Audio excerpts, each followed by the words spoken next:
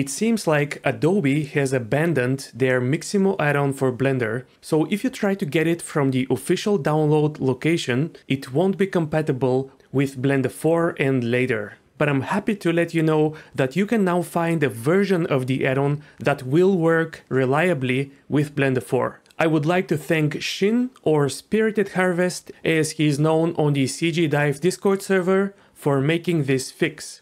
You may find other community fixes for the Mixamo add-on on the internet, but the one by Xin is the one that I recommend because I know he did it properly and he is likely to keep maintaining the add-on in the future.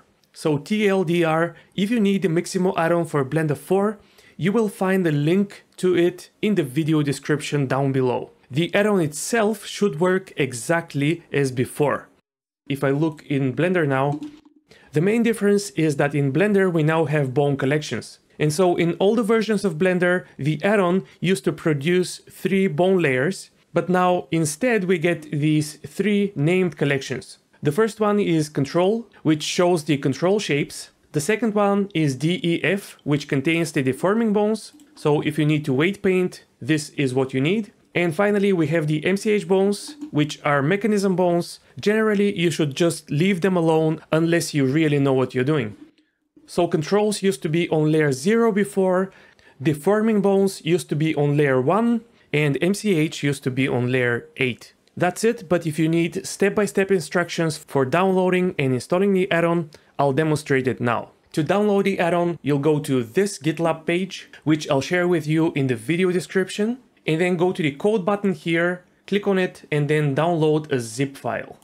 And I'm not sure what will happen when future versions of Blender arrive, so pay attention to the README area and it will tell you what you need to do. And again, I want to emphasize that this version of the add-on is for Blender 4. If you have 3.6 or earlier, click here on Based On, which will take you to the official download page, and click Get the add-on which will give you the older version of the add-on, which works with 3.6 and earlier. Once you have downloaded the add-on, start Blender 4 and then go to Edit, Preferences. And now here is an important bit. Go to the add-on section and search for the Mixamo add-on. And if you don't have it, that is fine. But if you happen to have an old version of the add-on, first disable it, then expand the options and click Remove. Then close the preferences and close all instances of Blender. Then start Blender again. Go to Edit Preferences, Add-ons, click Install, and then find the zip file that you downloaded earlier.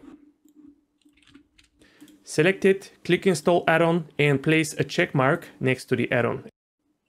And it will be in the N panel under Mixamo. Now we can test it quickly. I have already downloaded a Mixamo action. So I can import it through FBX. So I'll be able to create the control rig just as before, and it will have the animation. I can zero out the rig. I can go to pose mode and animate. I can use the edit control shape and apply it. If I have another Mixamo animation, and import it.